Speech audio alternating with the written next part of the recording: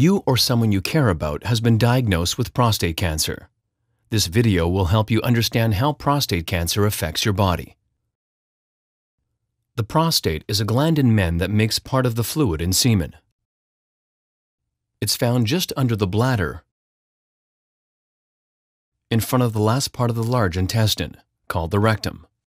The prostate wraps around part of the urethra, which is the tube that passes urine and semen out of the body.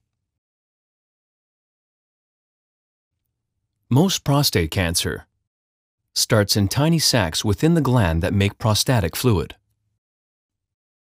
Here, cancer cells form from gland cells that line the sacs. Over time, the cancer cells can multiply and form a malignant or cancerous tumor. However, most prostate cancer grows more slowly than other types of cancer. An important risk for prostate cancer is age. Prostate cancer is more common in men over the age of 65. Race is another risk factor. Prostate cancer is more common in African American men than in any other race. The risk is also higher in men whose relatives, such as a father or brother, have a history of prostate cancer. There are usually no symptoms in early prostate cancer. However, as the tumor enlarges the prostate, you may have the following symptoms. Difficulty starting urination. Weak, interrupted, or painful urination.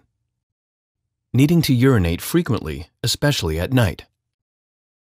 Painful ejaculation. Problems getting an erection. Blood in urine or semen. And pain or stiffness in the lower back, hips, or pelvis. Note that these symptoms may be caused by prostate enlargement that is not cancer. If you have prostate cancer, your doctor will need to determine the grade and the stage or progression of the disease. Each grade is based on how normal the prostate tissue looks under a microscope. The grading system for prostate cancer is called the Gleason grading system. In this system, samples of two main areas of the tumor will each be given a grade from 1 to 5. The grades will be added together to give the cancer a Gleason score between 2 and 10. The higher the Gleason score, the more likely the cancer is to grow and spread to other areas.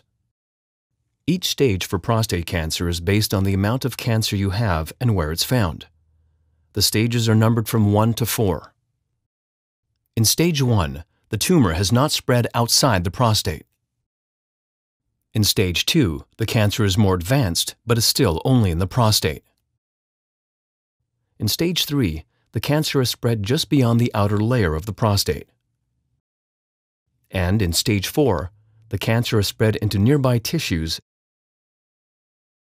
as well as more distant areas of the body.